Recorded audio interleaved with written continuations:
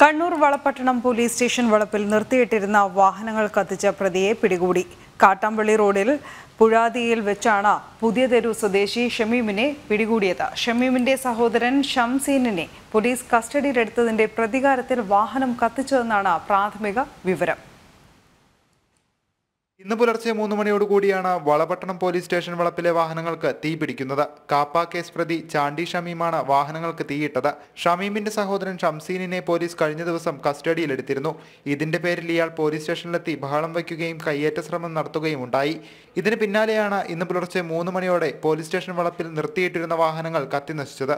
തുടർന്ന് പത്ത് മണിയോടുകൂടി കാട്ടാമ്പള്ളി റോഡിൽ പൂഴാതിയിൽ വെച്ച് ഷമീമിനെ പോലീസ് പിടികൂടി. ഷമീമിനെ പിടികൂടുന്നതിനിടെ പോലീസിനും പരിക്കേറ്റിട്ടുണ്ട്.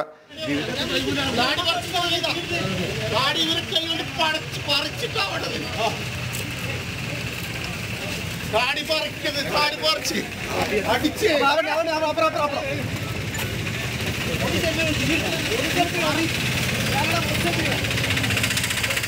വിവിധ കേസുകളിലായി പിടിച്ചിട്ട അഞ്ച് വാഹനങ്ങളാണ് കത്തി നശിച്ചത്.